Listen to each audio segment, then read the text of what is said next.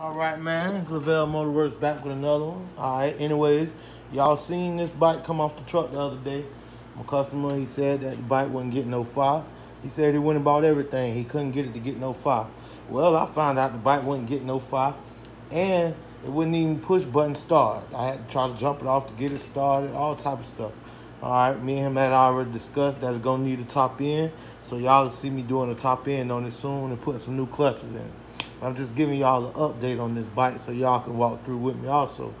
So when I work on stuff, sometimes I don't like to put it all back together at first because I have to figure out what's going on with it. I leave it hanging, put it all back together. Sometimes you gotta take it all back apart.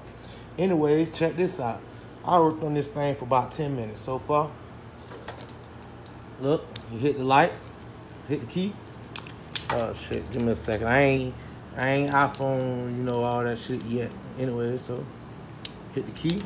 He got his neutral light coming on. Hold on. He got his back lights coming on. And guess what else he got? And it's turning over with the button. And guess what else he got? Who the motherfucking man? Huh? Now once I bust this motor down, put this top end in inside this motor, put me a um, nice clutch set up inside of it, put it all back together, make sure this carburetor jetted and tuned nicely, clean out this air filter and stuff like that, get it on running how it's supposed to, put them new tires on, I'll be sending y'all the video. Y'all have a good day.